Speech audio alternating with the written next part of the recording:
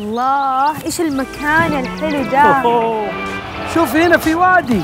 قالت لي حعيشك يوم في جيزان ما راح تنسيه مع السلامة الطريقة بالطريقة القديمة. هذه طريقة الآباء والأجداد. أسوي لك مغش البامية. اللي حتاكل أصابعك وراه من ديرة لديرة الليلة.